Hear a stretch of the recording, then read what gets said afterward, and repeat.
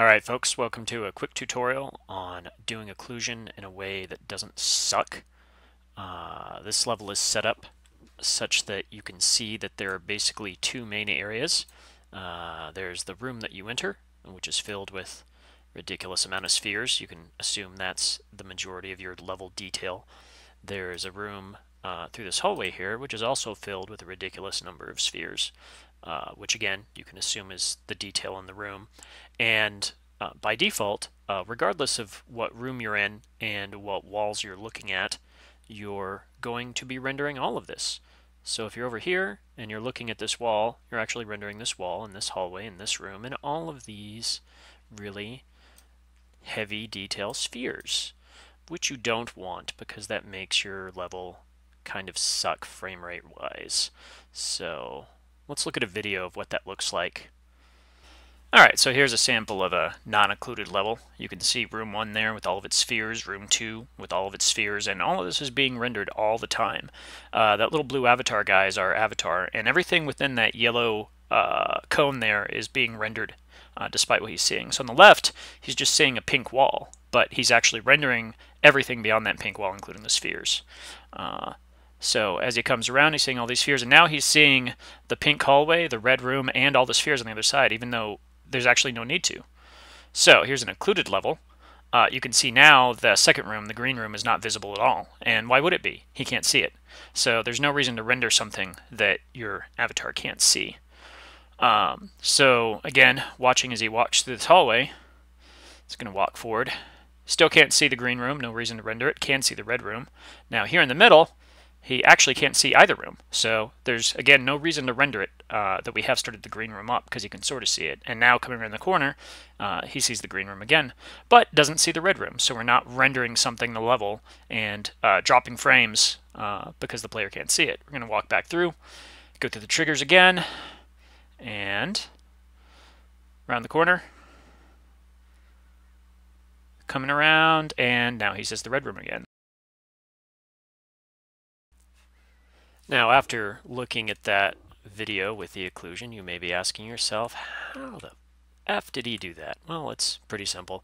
Uh, we're going to use something called VRC triggers, uh, which are one of the scripting elements that are available in the uh, VRChat SDK. So let's take a look at one uh, right here. This is a trigger that I've set up. Uh, so let's look at the properties here. You can see, depending on the resolution of this, uh, you probably can't read it, so I'll describe it. Uh, this is an on-enter trigger that is set to be local only. In order to get that local to show up, you actually have to check this advanced mode checkbox. Um, so I have set the layers for this trigger to player local. That basically means that uh, local player will trigger this uh, when entering it. And upon entering this trigger, uh, you set active uh, what I've labeled occlude underscore room 2. You set that to true. Uh, that's basically making that element active in the world. And you simultaneously set occlude room 01 to false, uh, which makes that element inactive in the world. So if we go to the hierarchy over here and uh, shut all this stuff down, uh, this is occlude room 1. You can see that it includes basically all that. This is occlude room 2, and you can see it includes all that. Uh, and this is the occluded hallway, uh, which we unoccluded, which we are never actually going to occlude, and then I've got some logic in here. So uh, what we're basically doing is using this trigger here. Uh, when you touch it, it will make this room active and make this room inactive, but it is only doing it locally. It's only doing it for the player that touched the trigger in their local version of the instance, which means if I'm standing here and you hit this trigger, you shut this room off for yourself. You do not shut it off for me, uh, because as hilarious as that would be to leave me plummeting to my death, uh, you probably don't want to do that to other players. So, how do we set these triggers up? Let's assume that we do not have one, and uh, we're going to create it new. So I'm going to take this step by step. So Bam, there's no trigger there. What do we do? Uh, first thing we're going to do is basically create a cube 3D object. There it is. It's great. It's a great cube. Uh, we're going to change the size of it to something approximating a trigger. Let's see, let's bring that up a little more. Okay, so this is what the player is going to encounter. Uh, I like to put a transparent material on the trigger uh, just so I can see it. You would probably make this invisible regardless. So right now this is a box collider. You're going to want to make it a trigger. To do that, you click is trigger. It is now a trigger, which means you will still collide with it. However, it will not stop you from walking forward. It will simply say, uh, I'm a trigger, I should trigger something. So click on our trigger, hit add component. And in the search here, we're going to type in VRC trigger, which is going to give us a brand new trigger without any options set. So since this is an occlusion trigger, we're going to trigger advanced mode because uh, we're going to need that in a second. Go to the custom drop down here and choose on enter trigger. And on enter basically has the trigger do something when somebody enters it. Click add. We now have uh, a list of drop downs. We're going to choose local here for a local trigger. This local will not be available unless you've ticked advanced mode up here. Uh, and then we're going to look at trigger individuals, we're going to leave that blank, and we're going to look at layers. And these are the layers of objects in your scene that will collide with this trigger. Because this is intended only for players who are local, uh, we're going to use player local here, which means only player local will collide with it, as opposed to other players. Uh, we're now going to add two actions to this trigger. Under actions, where it says list is empty, you're going to click this little plus sign. You're going to go through basic events, and you're going to select set game object active. Uh, once that triggers active, uh, we now have a list of receivers. These are basically things that you're going to set active or inactive. We're going to hit the plus sign again. We're going to click the little eyeball here. And uh, you can't see this window, so bring it over. Uh, so we're going to select scene and type occlude. And hey, look at that. It's occlude room 2, which is one of the rooms we want to use. So we're going to select that. And when we hit this trigger, we want to set occlude room true to active. So now upon setting this trigger, occlude room 2 will be set active true. However, we still got this room back here, which we want to turn off. So we're going to do this again. We're going to go down, uh, and we're going to add a second trigger, basic events, set game object active.